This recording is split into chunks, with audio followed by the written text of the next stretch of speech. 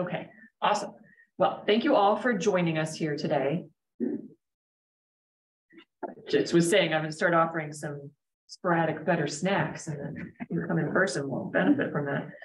Anyway, it's my great pleasure to introduce Hamsa Balakrishnan, who is currently at MIT. She's in the, she is the William E. Leonhard Professor of Aeronautics and Astronautics. Um, she's in the Aero Department there. She got her PhD from Stanford University and Bachelor's in Technology from IIT Madras. Her research is in design and analysis and implementation of control and optimization algorithms for cyber physical infrastructure with an emphasis on air transportation. And that's what she's going to talk about today, particularly for advanced air mobility. And um, I will I will let you to it there. I'm super excited to uh, hear what you have to say. Thank you. It's uh, great to be back. Uh, it was good to see. It's good to see a lot of people again in person today. It's been, I know, uh, at least for me, it's uh, been three years since actually been doing seminars in person. So it's uh, it's nice to do that. Um, so today I'm going to be talking, as uh, Christy mentioned, about advanced air mobilities. I think it means different things to different people. I will start with what increasingly is you know, the vision that comes to mind for me when people say advanced air mobility. This is an artist rendition, pretty much. I will show several of these. They all look like something which growing up, I think most of us saw the future vision of, you know, uh, personal air transport with flying cars and uh, in, in, cities and all of that. Um, what I'm going to talk about today is what you know, the promise of this, why there is a lot of interest again, or this kind of continued interest in this, and also some of the challenges of why we're not quite there yet, and what you know uh, the barriers still exist and we need to address, um, especially on the research side. So you know the open uh, re research questions here.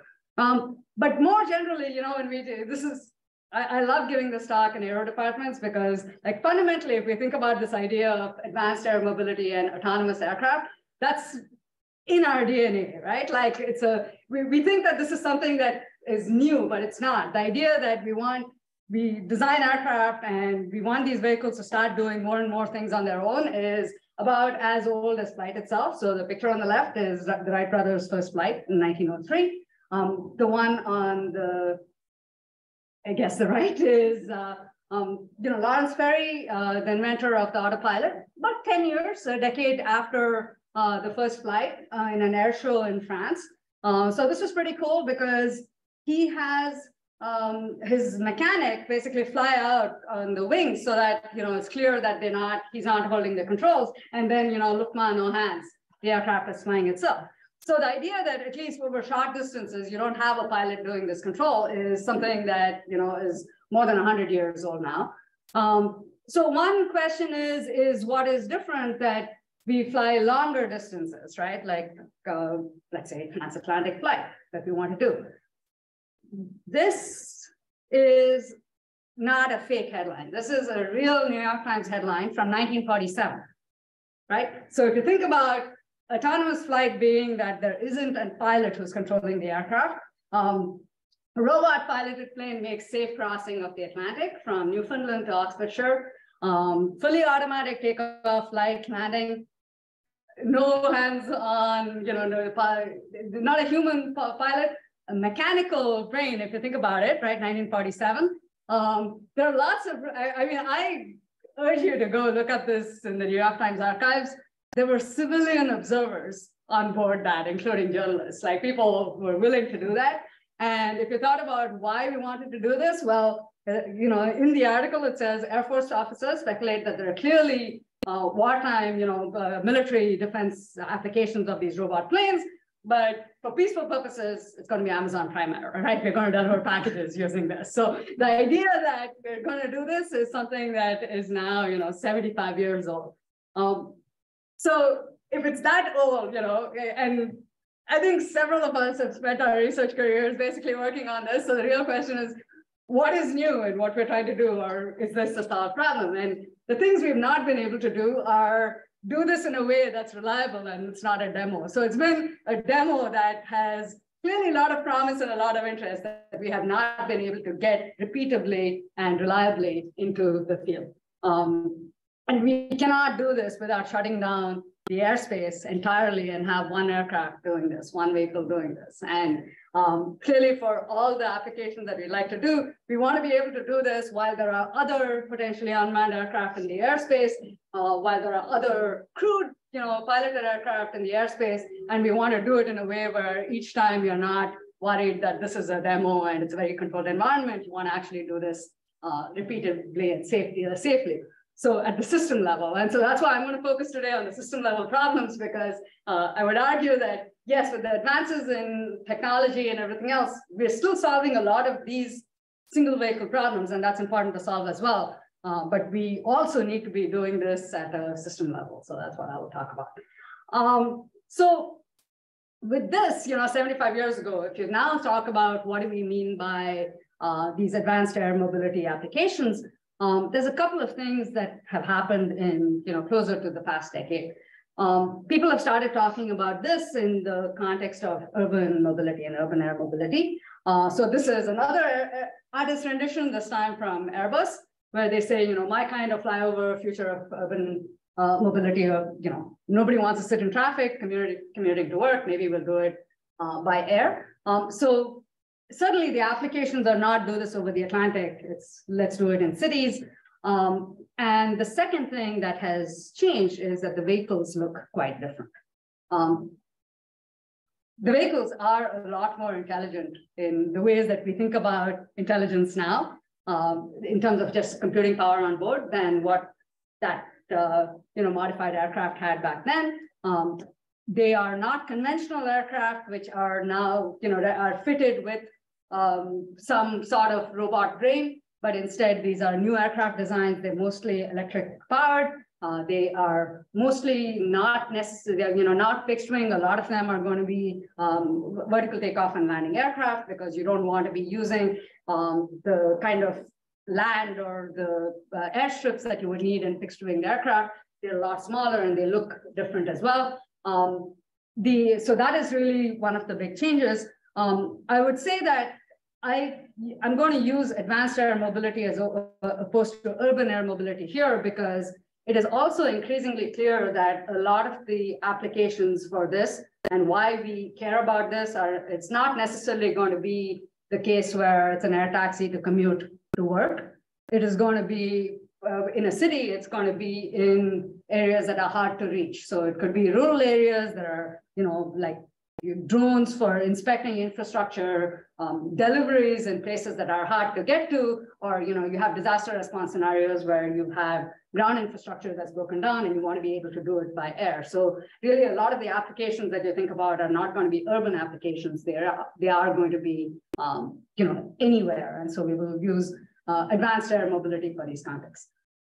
The, in addition to the type of vehicles, the other big change that we're seeing is really the scale that people expect. Um, as I said, they, these are projections, right? This is what people expect. Um, one example, and that, that is uh, Airbus's uh, blueprint. UTM is for these drones, when people talk about, there are different words. So UAM is urban air mobility, AAM is advanced air mobility. From the traffic point of view, people will say UTM for the U, the unmanned traffic management, you know, the jargon is UTM.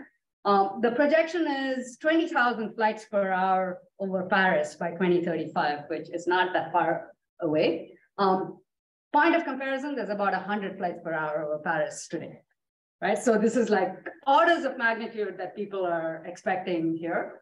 Um, and even in sheer numbers, the, the, the FAA projection says that uh, these small unmanned systems, these small drones doing things like package delivery and things, they expect, and this was three years ago, their projections for this year were, uh, you know, two to three million. We're not quite there because we haven't addressed those challenges, but these are still, the numbers are greater than all the manned uh, commercial or even, you know, manned aircraft we currently have. We have large, greater, far greater numbers.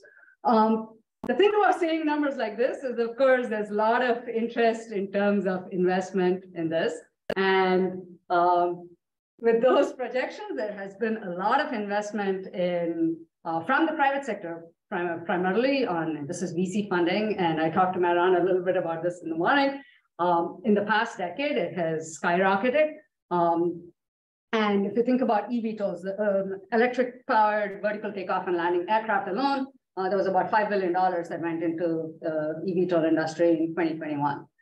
The thing about this chart that I want to point out, so the dark, the sort of the darkest blue lines, which are the tallest, are investments in drone companies. Um, the next highest ones are investments in passenger drone companies.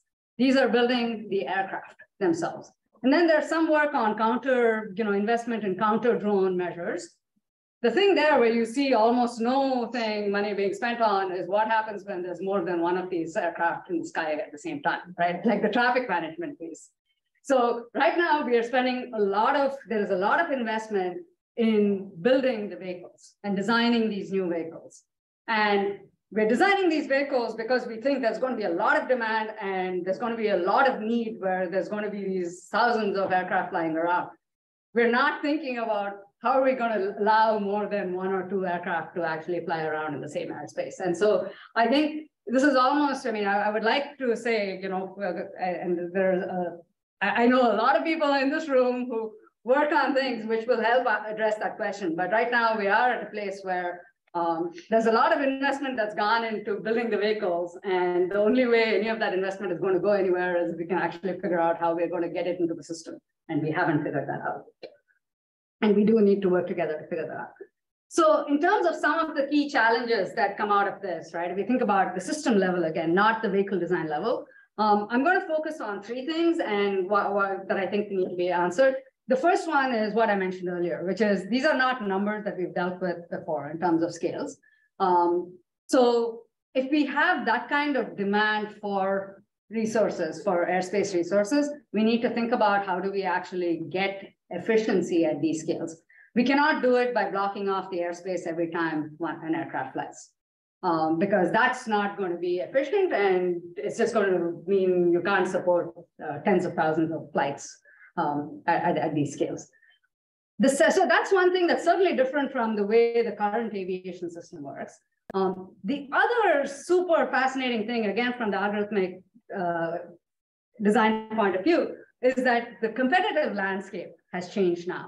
So we were used to having in aviation a competitive landscape where the FAA in the US would manage, you know, would be the uh, regulator and the overseer of the traffic. You had for, you know, a few airlines, tens of airlines, which would be their typical airport might have, you know, the order of 10 big airlines, all doing similar things you know, they were big airline, small airline, yes, but they were carrying passengers. They cared about delays similarly. They wanted to fly similar routes, uh, you know, origin destination. It was very clear what it meant in terms of quality of service and what each of them wanted. And um, it was also one of those things where with the central regulator being the government, you could say you have to share the information, otherwise you don't get to fly. Um, but now you have not just these airlines, but you have um, you know, you might be doing package delivery, you might have to be doing passenger transport, you might be doing, you know, emergency response, medical de delivery, you might be doing a photography mission. And they don't all want to do the certain the same thing. Some of them want to stay in the same region of airspace for hours on end, and other people want to get the shortest path somewhere else. And what it means to, um, you know, one of them might actually have important medication or time sensitive uh, delivery that they need to do, whereas the other is this is, you know, a tourist thing and a 15 minute delay is not going to make, or two hour delay is not going to make a difference and I'm not going to pay for it. So I think the competitive landscape is very different from the way what we're used to in aviation. The two issues that it brings up when we think about solutions is privacy actually becomes important now because information sharing is not that important, um, is not, you know, that obvious and evident that there's uh, people are going to share information. As soon as uh, in the US, the FAA required that all drones would have to have an ID and would have to uh, register, you'd have to register a drone and broadcast it. The first complaint is that this is a violation of privacy, right? Why do you need to know where my vehicle is all the time? So it is not obvious that the participants in this new world are going to actually be willing to share information unless there are incentives to share information and share it in a way where uh, it's in their best interest to share that information. The second aspect in terms of this competitive landscape is that fairness now actually becomes uh, even more important, where fairness doesn't have to mean the same thing for everybody. In like, what do we mean by fair? And so one of the challenges here has been um, in, um, in uh, Australia, when um, the first mover goes in, you know, Google Wing started having flights, immediately there are concerns about, okay, there's a monopoly. Because if there isn't a way of actually managing traffic from different operators in an airspace, the first person who moves in moves in, but you know, then you have to decide what happens when somebody else wants to use the airspace.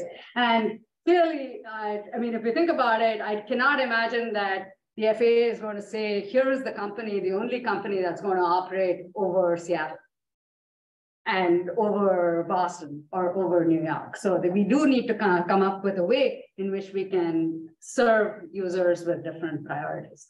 So those are the three challenges. And sort of confounding these is a fourth, which is it is actually not clear in this system who the we that's managing the traffic is. So if we think about conventional aviation, we went from the first air traffic controller. His name was Archie League. This is his picture. The picture on the left is a picture of him in St. Louis Airport in 1925, because the moment you have more than one aircraft that's going to take off on land, you need someone at the end of the runway to make sure that they don't run into each other. Uh, and then we've evolved from that to, you know, more modern FAA towers. Um, but if we think about the advanced air mobility context and the concept of operations that have been put forth by the FAA and NASA, the first thing it says that the FAA will not play an active operational role in managing UAM traffic or UTM, you know, both the drones or the air taxis under nominal conditions. So we're not the ones doing it. So now the question is, okay, so we're going to have this different role. You don't actually have the centralized government agency who's doing that, which means that as the rest of us, the R&D community, we also have to figure out not just how are we going to do it right to address those challenges, but there's actually a role on addressing that. And so that's sort of the piece that I, I want to focus on today, which is there are lots of open questions here. So given this, uh, I'm going to talk very quickly about three different problems and a little, you know, sliver of uh, some of the work in each of these. The first is, let us suppose that I am a service provider. So I end up saying I'm going to be a traffic management service provider. How can I actually manage the traffic in my region from the, my area with different fleet operators in a fair and efficient manner? Uh, the second aspect is going to be if I'm a fleet operator who has different customers who want to do different things, how am I going to manage those, you know, and the fairness and efficiency trade-offs. So you can see how fairness and efficiency are going to be uh, trade-offs that are going to repeat here. And then the third piece is if we truly want efficiency here, I'm going to argue that we need different service providers to actually cooperate. Because, uh, and, we, and we have that to some extent, the seamlessness that we expect in our communication networks where I can call, I have a service provider, I call somebody else who has a different service provider, and somehow the packets actually get from my phone to theirs. And we need to have that ability or some version of that in the system as well. And to do that efficiently, you're going to need cooperation. So that's going to be the third piece uh, that I will talk briefly about. So um, for the first piece, um, one of the things that we look at is if I'm a service provider, how do I navigate these trade-offs between fairness and efficiency while taking considering things like I want something that will scale well with the numbers because I know the numbers are going to be high.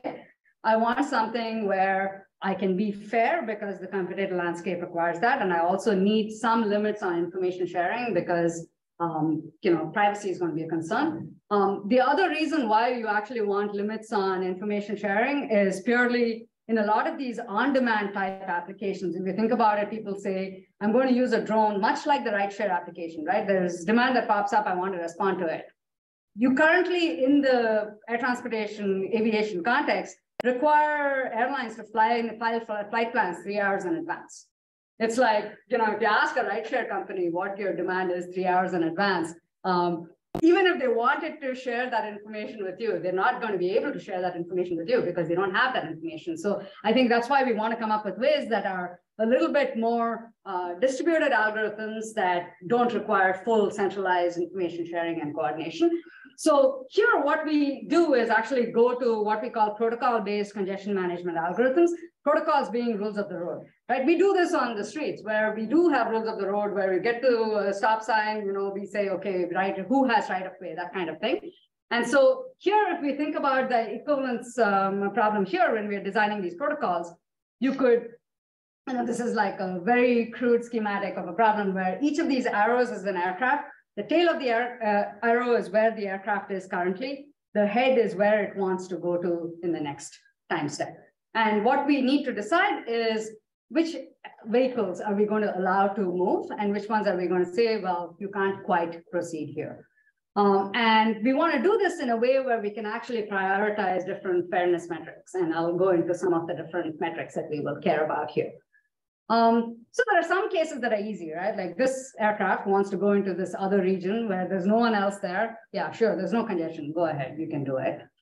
Um, there are cases where we have these cycles, like this green loop that we have here. And these cycles are interesting because no one can move unless everybody moves, right? Like if uh, the only way this aircraft here can move uh, to this uh, cell is going to be if the aircraft that's currently there moves out and so on. So they, they have to all move. So you can have that kind of cycle. And then you have this case where um, these bigger chunks here, where if you think about who do I prioritize in some uh, cell, like this cell out here, I actually should look at the downstream effects because making that decision on who, which aircraft proceeds, not only impacts that aircraft, but impacts every aircraft behind it. And so in that prioritization, we'll have to consider a broader set of uh, effects. And that's really what we use to guide our protocol, which is there are three cases that we need to deal with. The ones which are easy, you, can we can resolve easily. But the two cases that we'll have to really worry about are going to be these cycles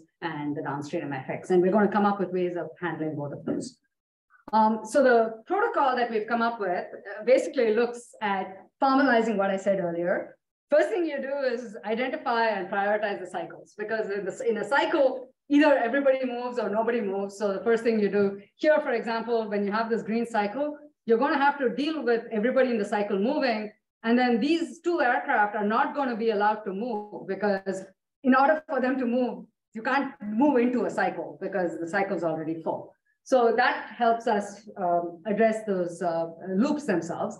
And then for these things where, you know, like the yellow cell here, we use the notion of the prioritization where we use the notion of uh, back pressure. And back pressure is a standard notion, a well-known studied notion from queuing theory. But the idea is that it's a measure of essentially how many people are behind you in line. And so we're going to look at basically the longest queue of aircraft and say which sector or which cell has the biggest pressure behind it and prioritize releasing the pressure on that, right? Like move the one because it's going to have the most uh, the most downstream effects where you're going to help the most people behind you. And then if you, once you find that sector, if you have to figure out who moves in that sector, we can look at different fairness-based prioritization schemes to decide, okay, we've decided that this is the sector which has the most back pressure. We're going to relieve pressure there. Now let's figure out who's going to move into that sector to relieve pressure. And that's where the prioritization schemes come in. And it is not obvious in any of these systems what the most obvious prioritization is because fairness actually plays a role there. And so these are just some of the different things we can think of. So one is you prioritize based on, you know, again, look at the most pressure, the highest back pressure, the longest queue and let, let them go. You could look at the highest accrued delay, namely each of these uh, those things in the queue is an aircraft. And they've already been delayed somebody uh, somewhere else earlier and they've had congestion. You can look at who's had the most accrued delay already and say well you should prioritize them because they felt pain already. And so you're trying to minimize that. Um, maybe, you, and that's something that's pretty done in other aviation contexts. Maybe you don't want swaps and orders in your schedule. And so you could look at, uh, um, you know, the number of reversals or um, actually uh, the dominant resource uh, fraction is an idea from cloud computing resources where you basically look at who, you know, what is the airspace that that person is using, right? So in one case, you could have an operator who is putting all of their flights in the most congested region, and another one who's actually got a diffused set. And you don't want to say, oh, just because you want all the, you know, you already have a high external cost. Why should you get priority just because you're already, you know, badly scheduled? So you might want to actually uh, balance out in that way as well. Um, and the nice thing about our protocols is that we can show that any of these fairness schemes actually can be introduced uh, into that and incorporated into it. And the solution that you get is, even though this is a distributed scheme where you're making these decisions only based on your neighbors, it is actually equivalent to the one-step optimal. So if you had a, a, full global Oracle view of what's going on and you optimized it, you would still get the same uh, solution on who would move uh, as you would from this distributed method. Um, so what this ends up being, and but the bottom line really is that nothing comes for free, right? There's going to be a trade-off with fairness. And that, that actually depends, the trade-off depends on what measure of fairness we are prioritizing and we care about. So this is just, um, you know, the kind of things that we can do. We can balance, by picking the right measure of delay, we can balance, make sure that all operators have equal levels of delay and balance that. We can look at only the externality imposed by an operator, the excess delay and balance that, or make sure that the excess delay is proportional to your expected delay, um, and so on. And in each of these will have a different implication on the system optimal efficiency um, of the system. And then we do this through looking at, uh, this is work with collaboration with Airbus. So that's a package delivery scenario in Toulouse where we look at, okay, if you have these hub and spoke package delivery networks, how do you navigate these trade-offs in these different situations? And more recently, we've actually extended these protocols to cost-aware protocols, meaning, meaning delay is not the only thing you care about, maybe the value that or the cost of the, that aircraft is different for different operators. And what you want to do is then build a market mechanism, a pricing scheme on this to actually help with the prioritization. And we show that you can actually extend the protocols to do that as well. So this is a very quick uh, uh, overview of if I'm an operator, uh, if I'm a service provider who's managing traffic and I have all of these different operators in my airspace, how do I look at a trade-off between fairness and efficiency and try to get both to some extent, right? Like um, uh, in, in, these cases in a principled manner. Um, the other point of view, but that's only one piece from a service provider, a single service provider who's managing this traffic. And this is quite similar to what, um, you know, if the FAA or some uh, agency or regulatory agency decided they were going to manage the traffic.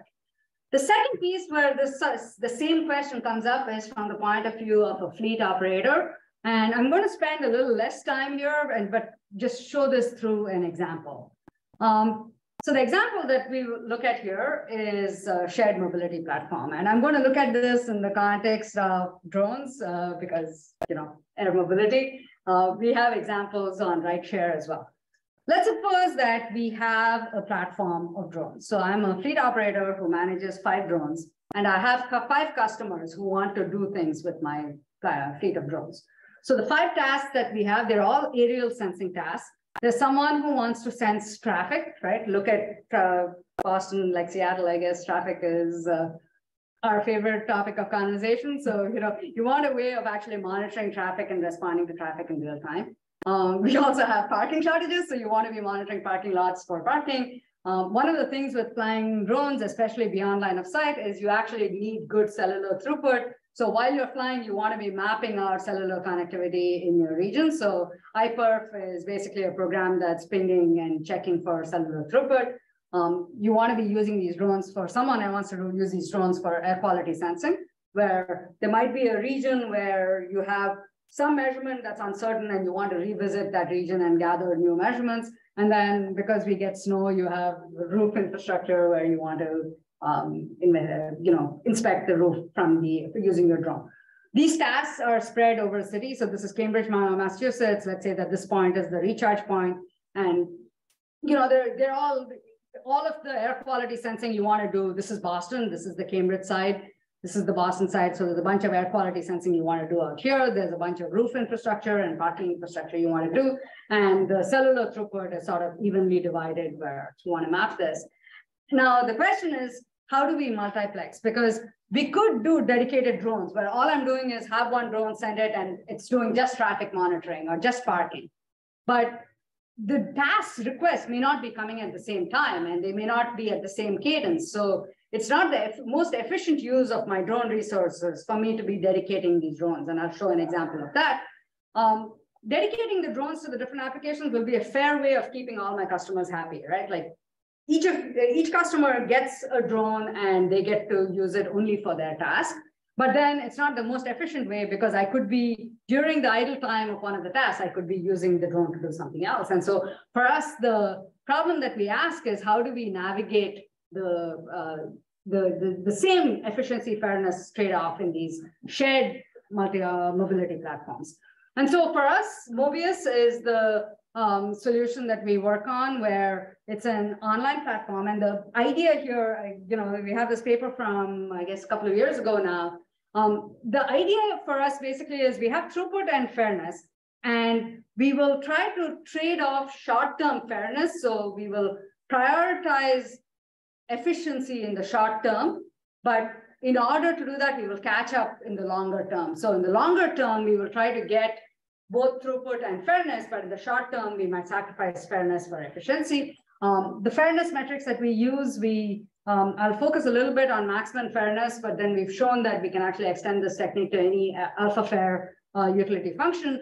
And the nice thing about it is like the lot of the optimization piece itself here, we actually just translate it to uh, VRP, uh, vehicle routing problems. So um, there's been beautiful advances in solving VRPs very efficiently. And so what we're doing is we're leveraging that. So everything around that that we're building to navigate this, we're also using the fact that we can solve various versions of VRP uh, very well with uh, standard, and we use OR tools for it in our work. Um, so the kind of, you know, I said I was just going to use an example. Let's suppose that traffic we want to monitor continuously. The parking we want to come back and revisit every 10 minutes. The uh, cellular throughput we want to cyclically monitor. The air quality, you just want to go there once and then come back and you're done. And similarly, the roof, you want to go there once and come back done.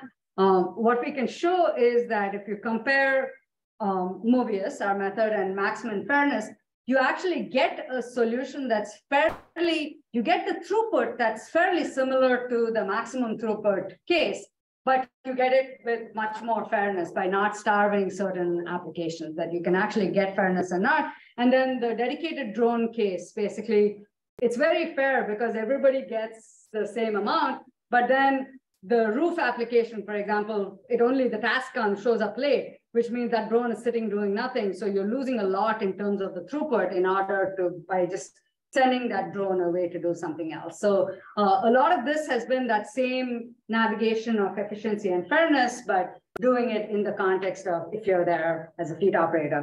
Um, the example that I will not talk about here, but with uh, air taxi type of applications comes up with again is we can show that this exact problem relates, can be related to the issue of you know, destination discrimination and rideshare, where if you're looking at different regions where there's demand coming up, where you want to have trips to different regions, there are certain regions that are so far away that nobody wants to go. So, you know, it's really hard to find ride shares to certain regions because if you wait in downtown Manhattan long enough, you're going to get another ride in 30 seconds. So why are you ever going to send somebody as a rideshare driver? Why are you going to send someone out where they're going to have to come back? And what we can show is that using this method with, you know, like a 10%, you can be within 10% of the maximum throughput you would get. And at the same time, actually serve much more equitably your uh, different destinations. And the idea is the same, except the customers are going to be destination, the re regions that you want to serve, and the vehicles are going to be cars instead of uh, drones. Although, you know, in the air taxi application, they would still be cars. But um, the idea is exactly the same, where you actually have these cases where fairness and efficiency, if you do not, if you look at a purely efficient solution, it's going to be very unfair. But if you actually come up with a way of navigating the trade-off, you can get to a reasonable level of fairness and get to close to your efficiency. And so that's what we try to deal with here.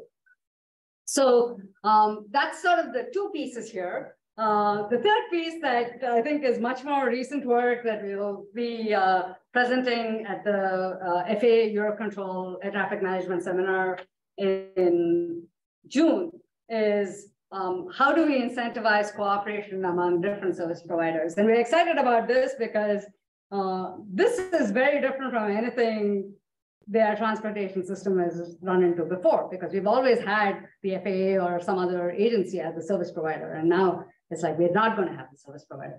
So we look at this, okay, we think about the system designer. We're going to, we go through the con ops, right? The concept of operations that are published and say, okay, what does this mean for the person who's providing the service? And this very complicated picture is what the FAA NASA concept of operations and what the system is going to look like is going to be. In the middle of this, and this, this is for urban air mobility, there's a similar one for on a, you know the smaller drones as well. And in the middle of this, there is on the left here, this is where the FAA sits, right? It's where, with all of the current traffic and conventional aviation. Out here, they have this network of private service providers and these service providers are going to have to figure out how to coordinate and talk to each other and share information as they need it and everything else and you know send what is needed to the FAA. And they're also going to coordinate with the UAS service suppliers. So I'm going to, in the rest of this talk, sort of group both of these because both these groups are providing traffic management services to unmanned vehicles, whether they're the smaller drones or their passenger urban air mobility. So I'm just going to call them service providers because it sort of makes sense for us to think about them as one. You don't want two different solutions. You want one solution that talks to each other. Um, the so we're going to focus on them and we're going to focus on them, the ones that are providing traffic management services. The reason is the concept of operations say things like weather alerts on what the winds are going to be. That's also going to be a private service provider who's providing that information. But we, you know, the competition there they're complementary services, right? Like someone who's providing weather services is not really going to be competing with someone who's providing traffic management services. So I think it's cleaner, it's easier to figure out how they would work together. Whereas it's not clear to us how two traffic management service providers will work together. So we're going to focus purely on what happens when they're both providing the same services and they're providing traffic management services. Question for yes. you. So how is this being thought of in terms of integrating with the FAA services? Because I think is that's a separate thing too, right? Because I mean, you're still going to have like the large airlines. Yes, and currently. this left one out here okay. says FAA Industry Data Exchange Protocol, and it basically says when we need to know when it's an airspace that we care about, you let us know. Okay. So. okay. Yes. right, Lord of the Flies is. Yes. So, uh, I, and yes, so it is basically y'all figure it out. Okay. Because there's, there's other parts of this too, where like, you know, the airline pilots are sharing like weather information as they're flying, because there's a bunch of things you can't get. Yep. And that's all being done verbally Yes. between the planes right now.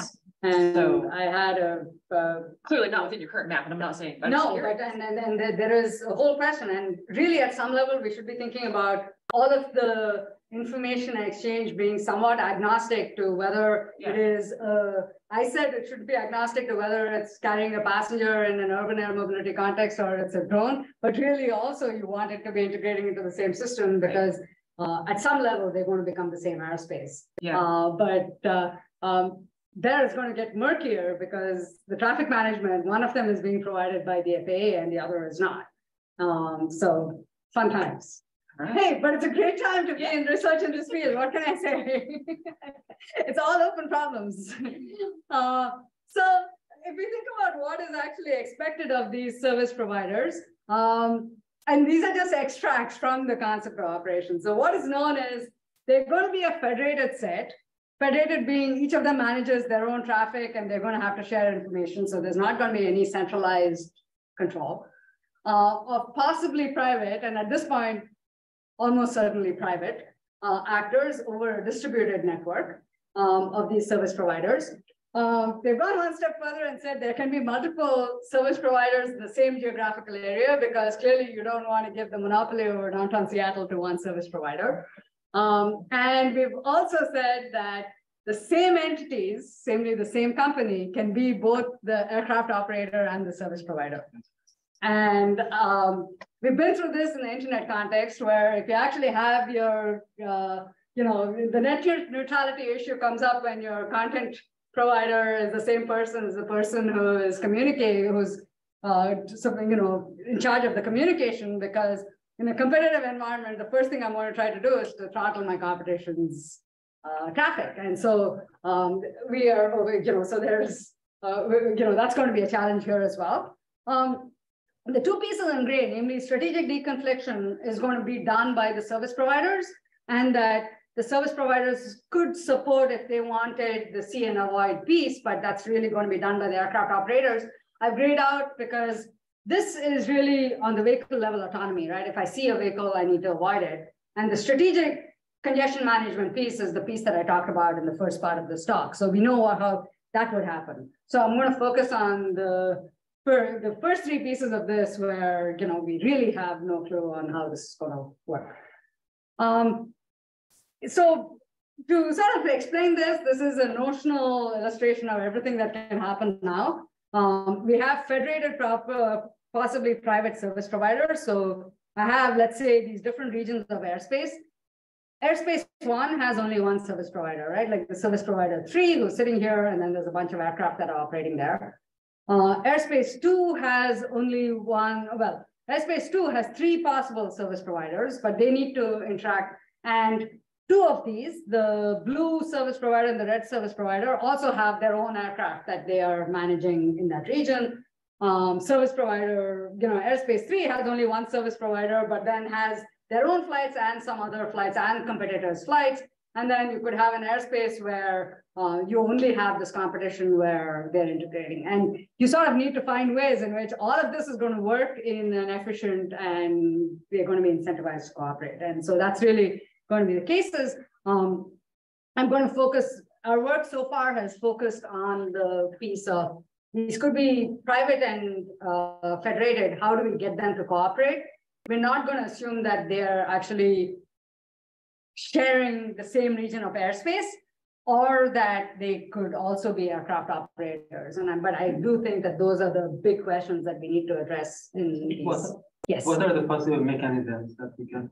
For coordination? Yeah. Um, so I will look at that. So we're going to look at, can we come up with the profit sharing mechanisms with incentives to incentivize cooperation? Right, so that's the exact idea. So the question is, where do we come from? We're going to look at profit sharing mechanisms. And the reason is that we actually have a place where we've done this, right? Like I said, telecommunications, we do this. The internet does have this idea of federated autonomous systems. And so we're going to try to see what's common, what's different, and what can be borrowed from here. Um, so in the internet, if you think about it, there are these uh, many what they call autonomous systems, but they're literally the system is called an autonomous system. Um, internet service providers are one type of autonomous system. If you think about how these uh, ISPs coordinate with each other, there are two main modes. Um, one of them is uh, um, transit, and transit actually require involves I'm sending packets. I'm an ISP. I'm sending packets to another ISP, and we have some financial arrangement between us. And we're going to try to. I, I think that's the model that we're going to try to look at here. Um, the other is largely, that's actually the minority currently in the US and the internet. Most of it is through peering relationships. And these peering relationships, the sender keeps the revenue. And the agreements are entirely through confidential bilateral agreements. So, you know, two ISPs have an agreement on what they're going to do. There is no money flow. We just have an agreement. They work well when the symmetric traffic flow. Because if ISP1 needs ISP2 as much as ISP2 needs ISP1 for their traffic, then everybody behaves reasonably well. And so it works well when you have symmetry, which we're not likely to have here. But because if you think about things like hub and spoke operations and things like that, you have very asymmetric things where all the traffic is going in one direction and then somebody's doing four different things and is not going to come back the same way. So uh, the symmetry is not something you get immediately. One of the downsides of this sort of peering relationships is because the sender keeps the revenue, the routes can be inefficient in that there's hot potato routing where if I'm not getting paid based on how much it's going to cost me to efficiently route traffic, I'm just going to get it out of my system as fast as possible. So essentially, I'm going to look at the closest boundary and push, right, get out. And that's very inefficient. And we want to avoid that. And so we're going to try to see if we can avoid, come up with a profit sharing mechanism that avoids hot potato routing. And of course, because these are secret, secretive agreements, uh, there's potential for peering disputes. So in around uh, 2005, you know, Cogent and L3 had a falling out, and Level 3 had a falling out, which cut out basically 15% of the internet for about three days. Right, like essentially, you know, well, there are agreements, and if we have a disagreement, things are going to break down. But the internet architecture evolved over time. So the reason why it's there is people sort of, you know, there was ARPANET and then you evolve from something existing.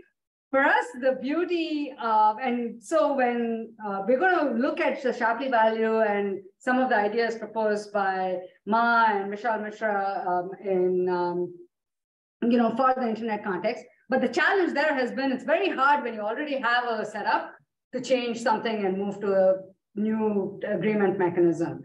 Whereas for us, I mean, we're excited about the AM context because it's an opportunity. Nothing exists. There's a mode where people are saying, figure it out. So I think there's an opportunity for uh, design here, a clean slate design, which is quite unprecedented because there are very few infrastructures where you now say, you know, you have this new form of traffic, figure out how the traffic management is going to work. So, so that's why you know we're excited about this because there's a lot of open questions, but also there aren't preformed setups. So we can propose things that um, you know, can avoid some of the issues like net neutrality, where, you know, and, and that's the thing we want to do. Um, so the Shapley value is an economic concept, and I, uh, you know, the idea here is it was proposed by Lloyd Shapley uh, in 1951 as a, a, fair way. So if you have a group of agents, uh, a coalition, to and there's a cooperative game and there's a payoff from it, how do we actually divide this among us? And the basic idea was that each agent will receive a payment in proportion to their marginal contribution. And like much of many of these economic mechanisms, the way this uh, the Shapley value is arrived at is trying to come up with a set of axioms or, or desired properties you want out of the mechanism.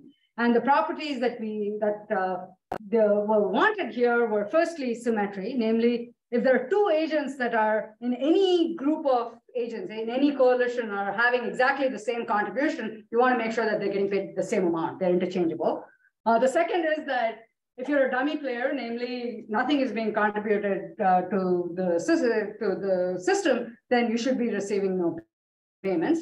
And additivity, namely, if something happens on one day and something independent happens on the other day, we should be able to decompose this and say the payments are what happened on the first day plus the second day. And so uh, it turns out that uh, uh Lloyd Shapley showed that the Shapley value is the unique division of the payoff that will satisfy these axioms. Um, so that's actually quite nice. Uh, I want to leave some time for high level questions, so I'm not going to go through uh, this in a whole lot of detail, but um, Essentially, in order to compute the Shapley value, because we care about the marginal contribution in every coalition, what you need to do is say, okay, if this was the group of agents, if these were the service providers who were present, what would the contribution have been? What would the payoff have been? And, and look at all possible combinations and then use that to determine what the payoff for each of these uh, agents is, uh, each of these service providers or agents are going to be. Um, I want to show what the implications are in the routing context because that's what we care about.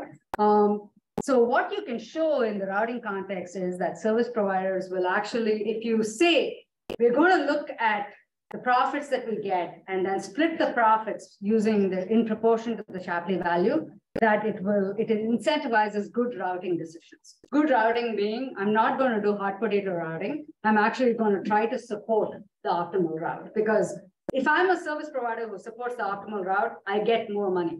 I get a better share of the profit. And the same thing is true of all my competitors. And so we're all actually going to cooperate, incentivized to cooperate to get to as close to the sharp, uh, the optimal route as possible because we're all doing better. And if any of us by going hot potato routing, I actually hurt myself because if I supported the efficient route, I'd actually gotten paid more. And so it incentivizes that. It also incentivizes interconnection where um, I'm not going to say I want to keep the traffic in my region for as long as possible because I'm going to get paid more. I'm going to say I'm going to hand it off to the person who is most likely to be able to give that aircraft the most efficient route again because it's going to uh, incentivize sharing. And so in a way, it actually promotes cooperative congestion management, which is what we want from the system perspective to come up with a way that we can share this to do that. Um, so we um, run this in some set of you know specific cases where we have an airspace.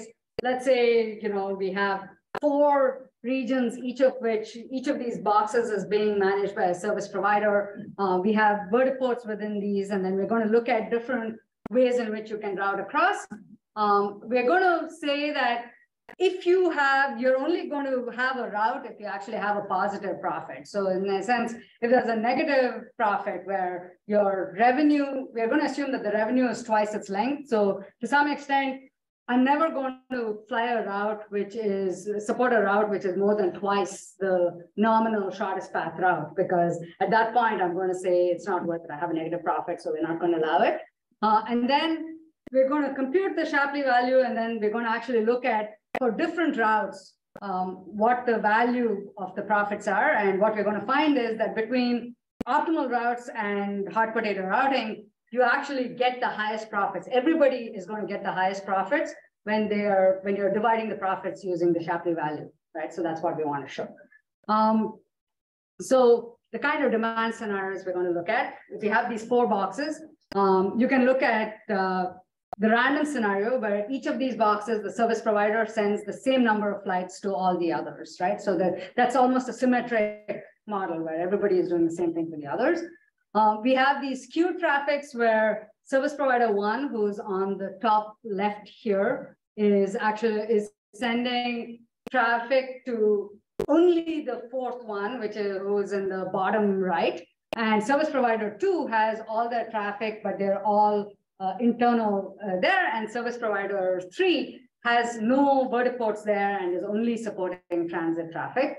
Um, a third case where service provider one is the only one who's sending out traffic to all of the three evenly. And then one where, in fact, service provider three is this massive, the whole of the airspace down there is a single service provider. And uh, so th there's some asymmetry in that break. Um, but the thing to look at is in each of these cases, we're looking at each of, for each pro service provider, how much money are they making? What is the profit that they're getting under the optimal route versus other like hot potato routing, right? The blue versus the red.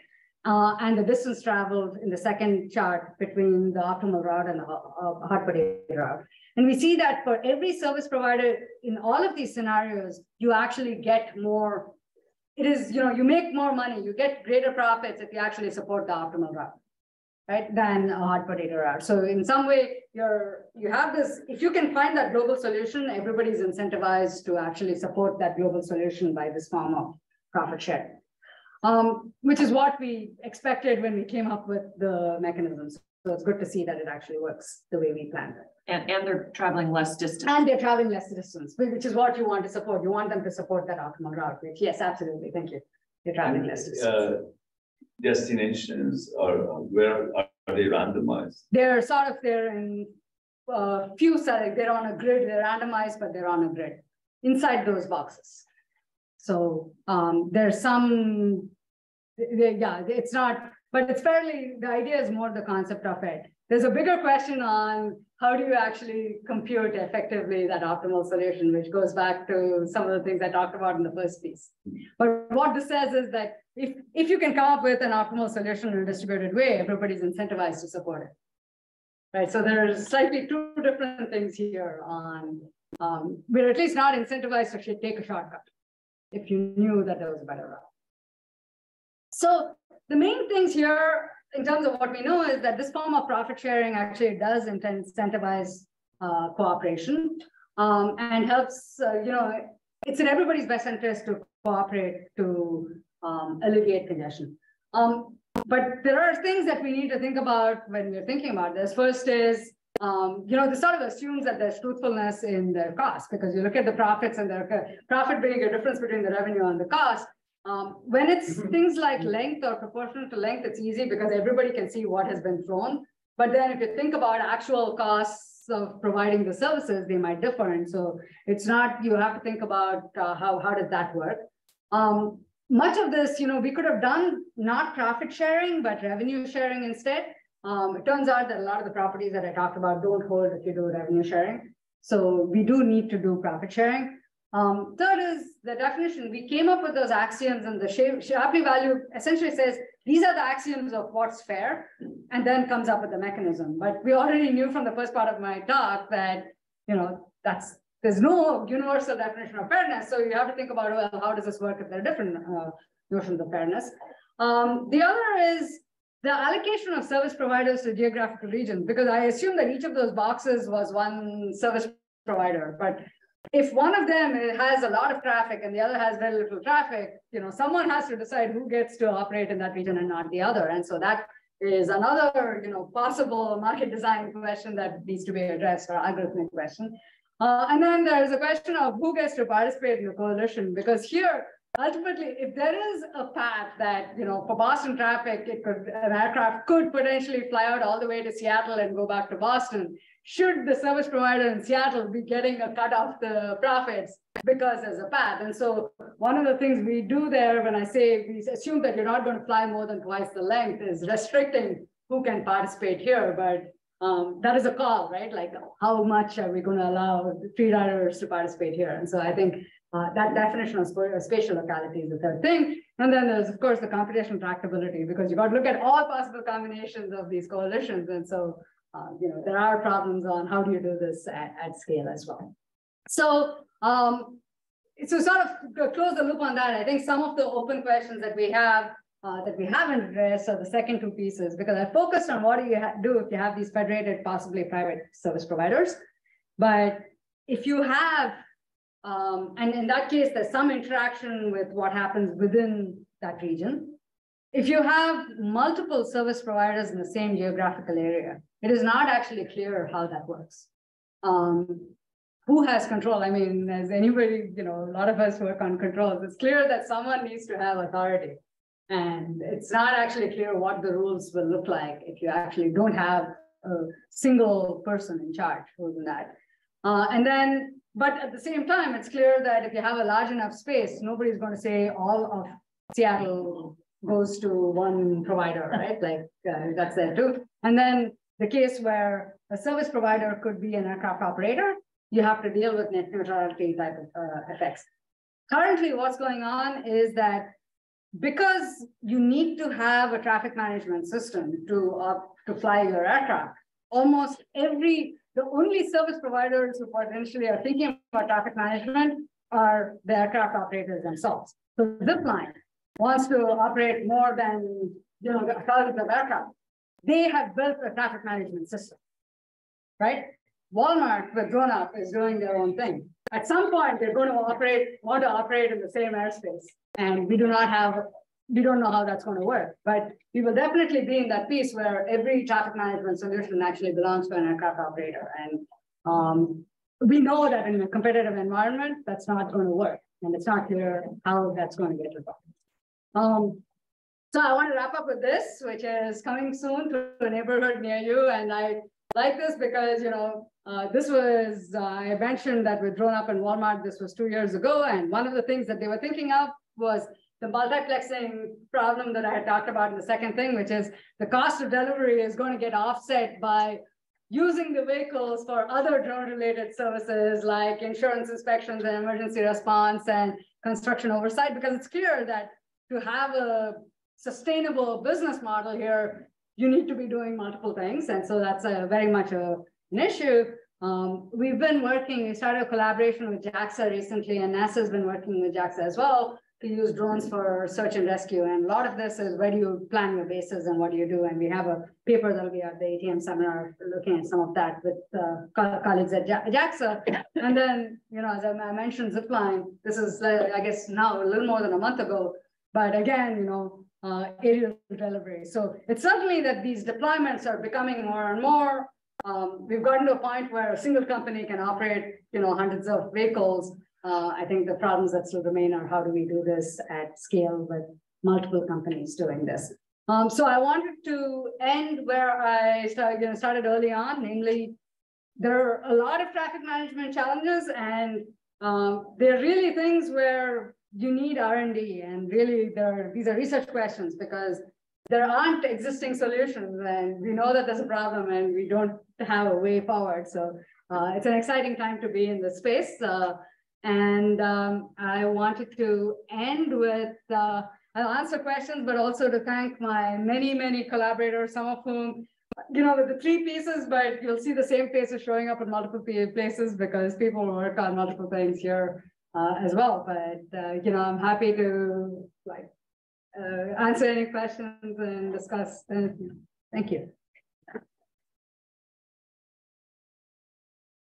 Questions? Um, we have a two-part question from Yes. online. So, um, Meng Wan asked um, that the AAM algorithm is applied to a two D space, yet the airspace will be three D. So how do we deal with that? Yes. And then related to that, um, specifically, Pressia Caraway says specifically in the TOL ascent and descent Mhm. across the glide path of multiple aircraft ceiling and floors. Yeah. Actually, if you don't whole- know Prisha, she actually works for Walmart. Her program, just so you know. Oh, yeah. So those are uh, both really uh, good questions. I think um, we, the abstraction is a two D thing, but really the way we think about it, they're cells that connect to each other. So um, uh, to some extent, we, it's more a connectivity of where you can go to from one place to the other. So it's a, um, yeah, it's a two D projection, but the way to think about it is just it's a region and it could be in three dimension, but we care about um, who your neighbors are, which is where you want to go to next. And that could actually involve changes as well. Um, I think the takeoff landing area question is uh, super fascinating, super uh, important. And I don't have, uh, apart from some work on, there's going to be a lot of congestion, a lot of issues there.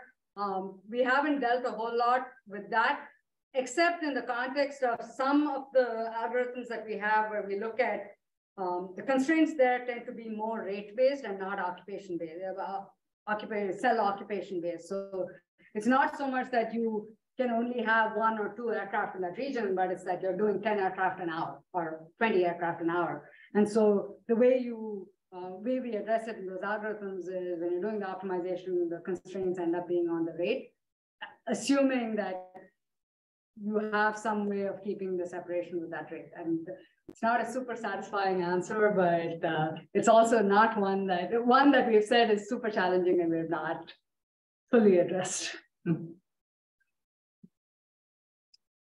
Yes.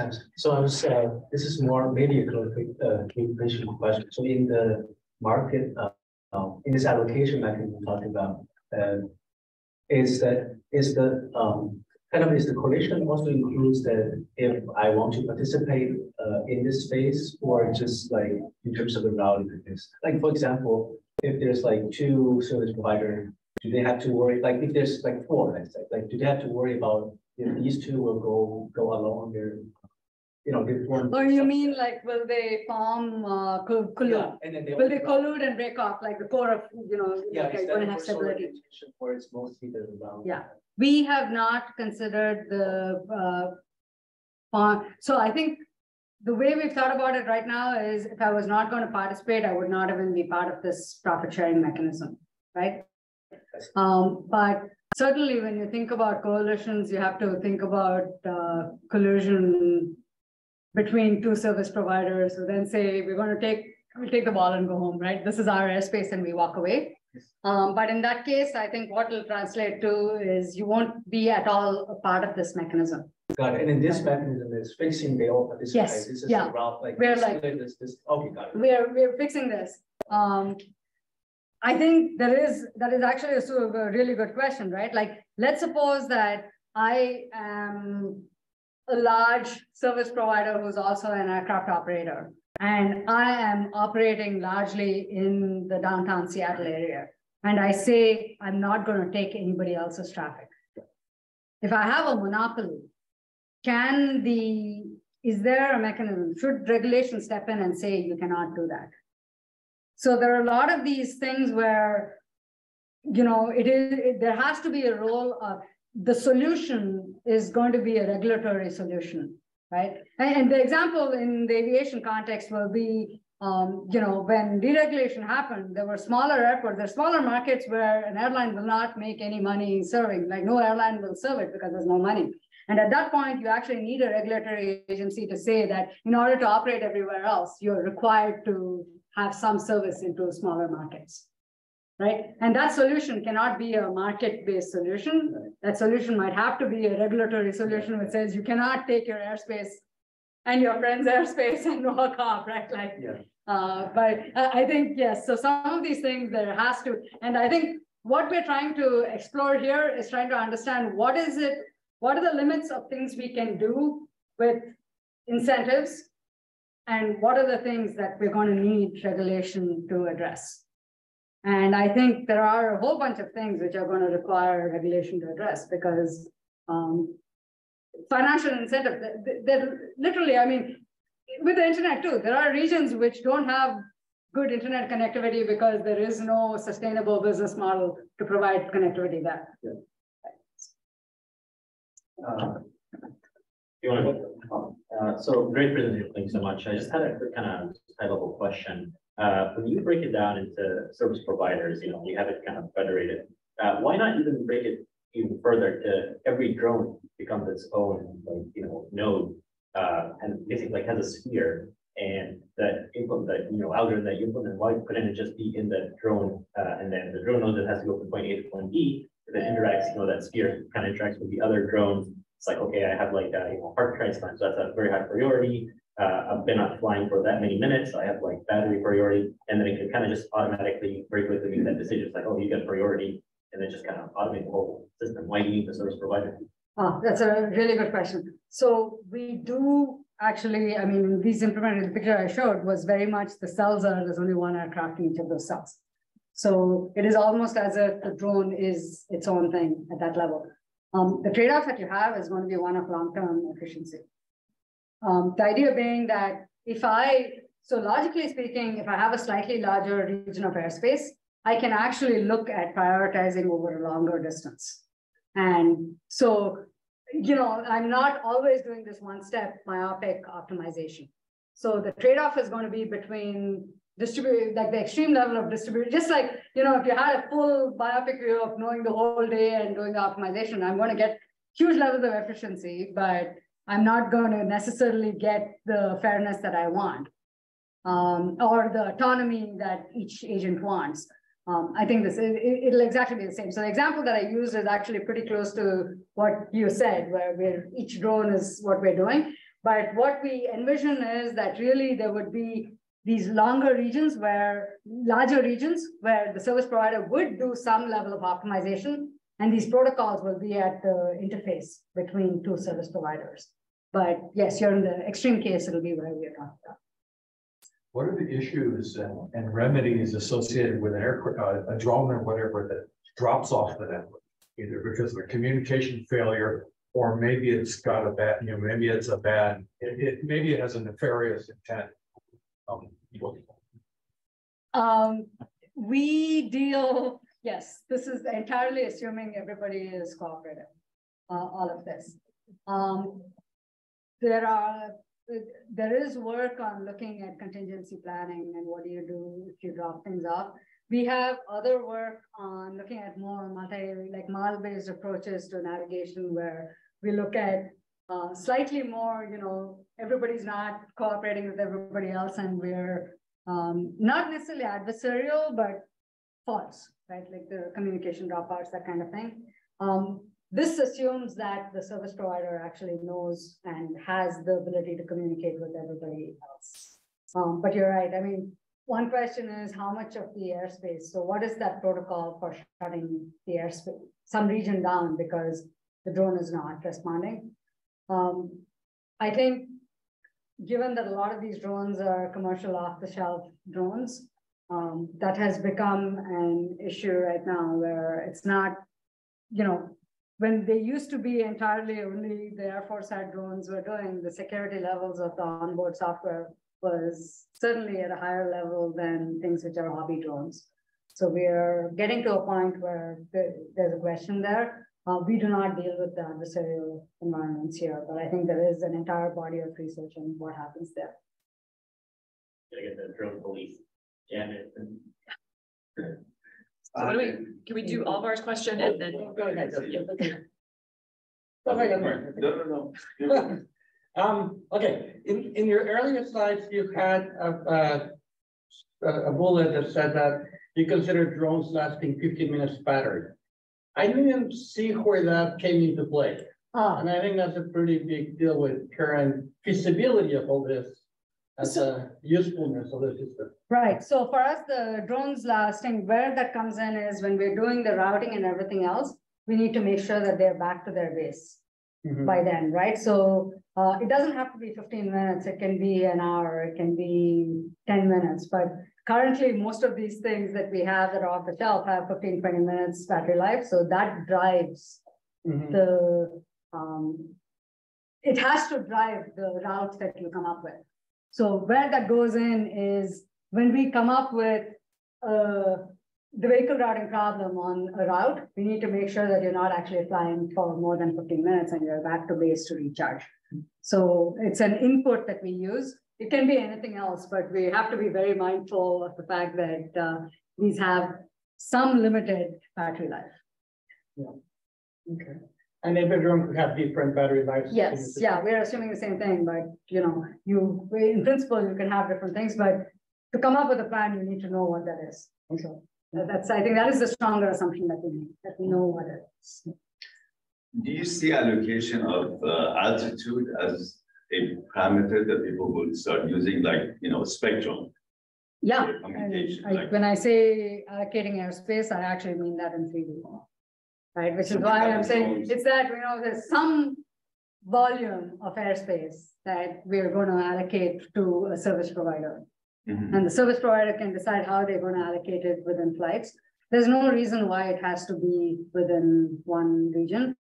I think when you look at only vertical sections, um, the question about, you know, takeoff and landing areas becomes. An interesting one, where yes, you can allocate all you like in that dimension, but at some point, everybody's coming down. Yeah, So, you know, who gets to control that? And how we control that becomes an issue, but yeah, we're sort of agnostic, like, we're thinking about volumes of airspace that need to be allocated, we're not looking at, uh, what their shapes are. but if they're small, you create an elevator and, you know, Yeah, you need to get up there. You're, you're- all you're doing is you're saying that there are some spaces that are going to be easy. Yeah. And then you have to deal with the interactions in the spaces where more than others come down. The same thing with, you know, space flight, right? With launches.